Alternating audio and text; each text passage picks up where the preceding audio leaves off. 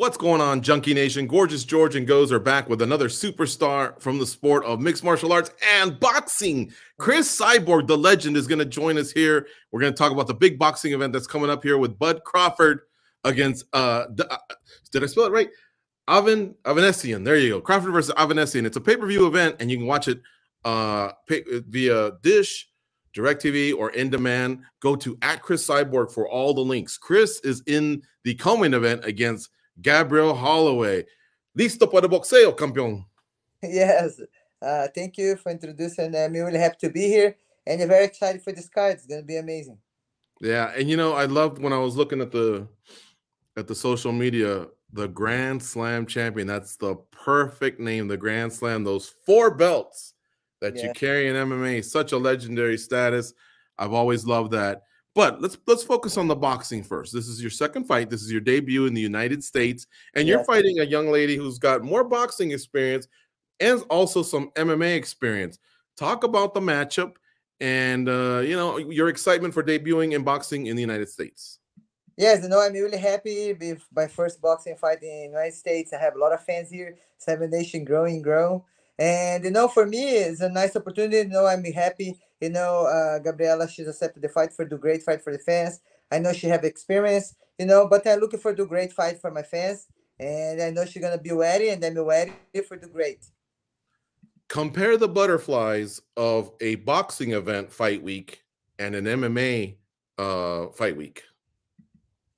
You know, usually I have to cut a lot of weight for the MMA fight.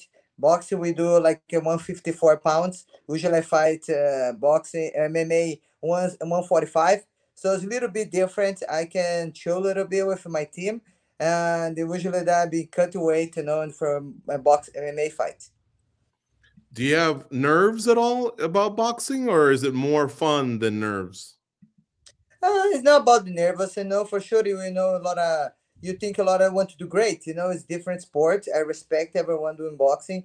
You know, I know it's I come from different worlds, the MMA to boxing and but I trained really hard for giving me a little bit confidence and you know when God opened the door for you because you're ready and I just want to do great you know I always want to do great in the fight and the victory is a consequence you know but I want to do my best however your name carries a legendary status so do you feel like there's a little more pressure to, de- to deliver legendary performances whether it's grappling MMA Muay Thai and now boxing? Or do you feel like, you know, someone that's just a rookie starting out? Take it easy. Don't judge me yet, people. You know, I believe like I don't have to prove anything. I think I did a lot of for sport. And and then for me, you know, it's uh, one of my dream doing unboxing fights. And for sure, you know, I, I want to do great and do good, good fights. I want to bring the fans from MMA to the box and the box to MMA, show my word different too. So as, as I feel like uh, thankful and I feel ready, you know, for do great. And the whole my career, you know, MMA, I always like to strike my fight, my the girls I fight. So this is a good thing, you know. I I I, I love, you know, finish the fight stand up. Compare your mindset.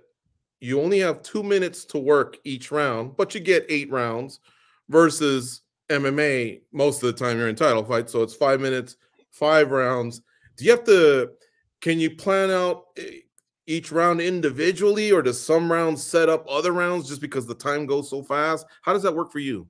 You know, this is one of the things I've been working because it really training for one round, the five minutes is different, the two minutes. So this is one thing my team, my team together, um, make you know it's very quick round. You don't have too much think time to think. You have to you know get the victory. So uh, I've been working this. You know, it's different. Two minutes is different.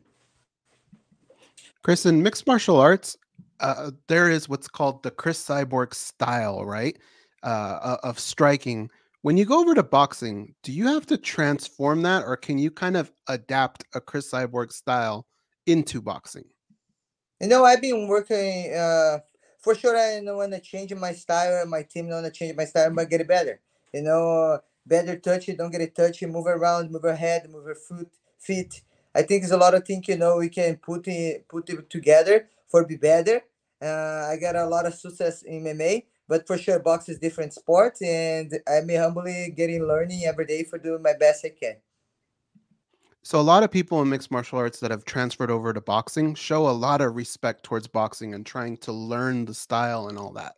Um, but when it comes to fight night, a lot of the producers or the uh, the commentators will say uh, this person's representing MMA in boxing.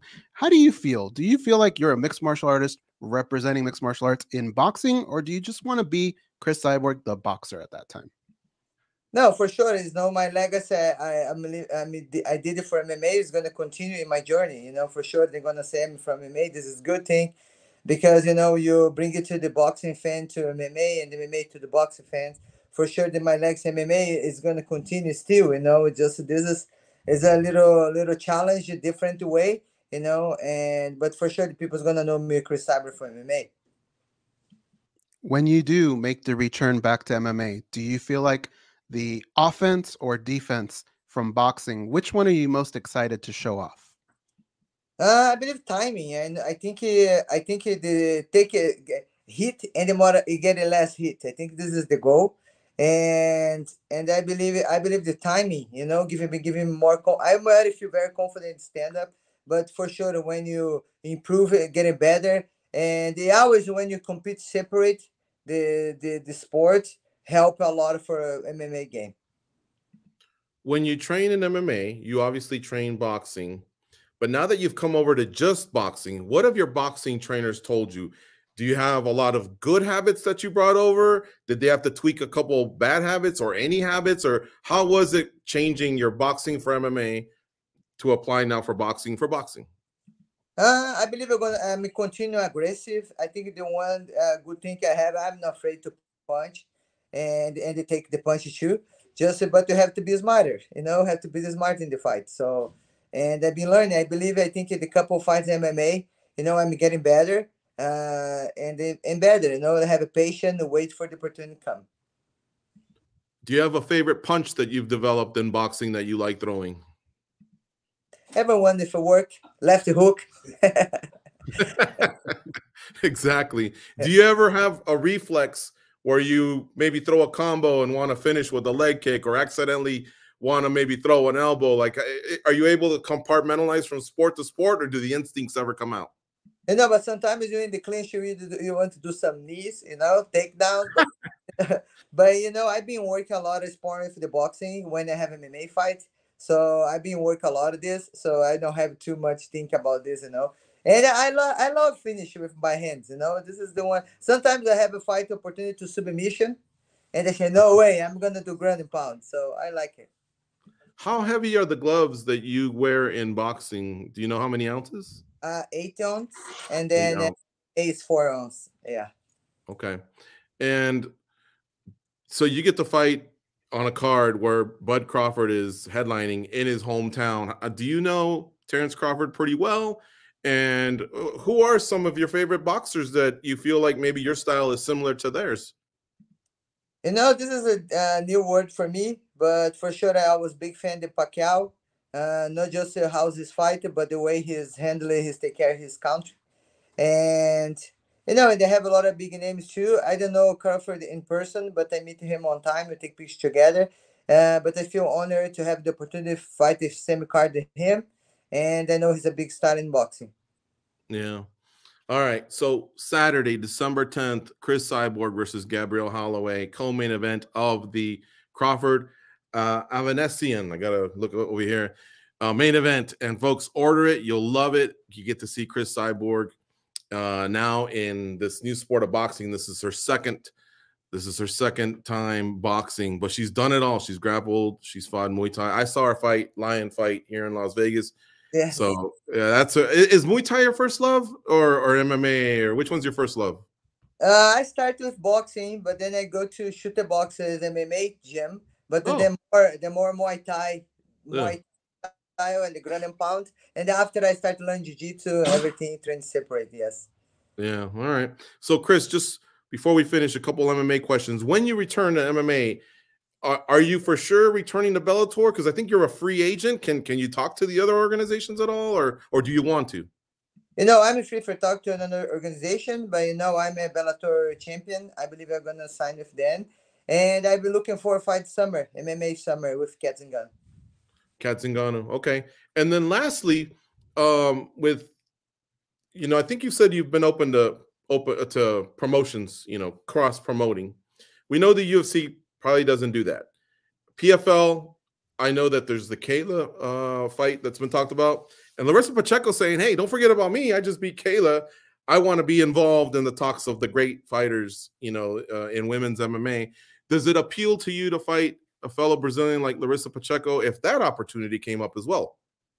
You know, for sure. You know, I always have to be ready for challenges, and I'm in Fox for the Cat Zingano's next. But you know, let's see what's they're gonna be next. And Bellator always, you know, work together, and let's see, let's see what's gonna happen. For sure, Pacheco knows the win and a great victory, and continue doing the journey and doing nice. And the last question is: When you have talked to Coker about cross promotion, has he told you five percent chance it can happen with PFL? zero percent, eighty percent? Has he told you? Is it is that even likely, or should we just stop asking that question about the cross promotion to, between PFL and and Bellator?